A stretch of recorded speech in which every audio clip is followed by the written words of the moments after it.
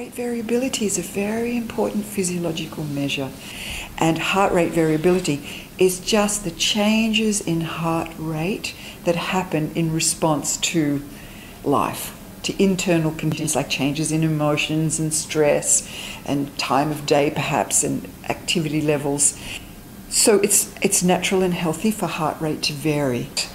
Heart rate variability has been shown to be the strongest indicator of um, mortality and morbidity. So you can predict a person's health and even how long they'll live from how variable their heart rate is. So you want to see variation in the heart rate.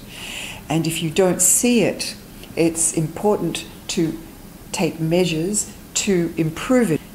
When people are stressed, particularly chronically stressed over a long time, their heart rate variability can reduce. The heart rate stays a little bit too elevated, so you don't see the nice fluctuations. Athletes will tend to have a good high heart rate variability. The young will have higher heart rate variability. As we get older, we generally tend to have less heart rate variability. As we're less fit, we'll have less heart rate variability. As we're more stressed, we'll have less heart rate variability. There's a very interesting relationship between breathing and heart rate variability. When you breathe in, your heart rate speeds up, and when you breathe out, your heart rate slows down.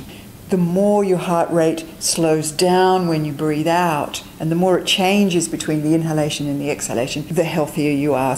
Breathing in, your heart rate naturally should speed up, and breathing out, your heart rate naturally should slow down. Is it trainable? Mm-hmm. Yes, it seems to be um, that if you practice it really regularly, that this relationship between the heart rate and breathing becomes better. Everyone has a kind of a perfect speed of breathing. Normally in everyday life we might breathe about 15 breaths a minute if we're healthy, normal, not too stressed. If we're stressed we might breathe 20, 25 breaths a minute.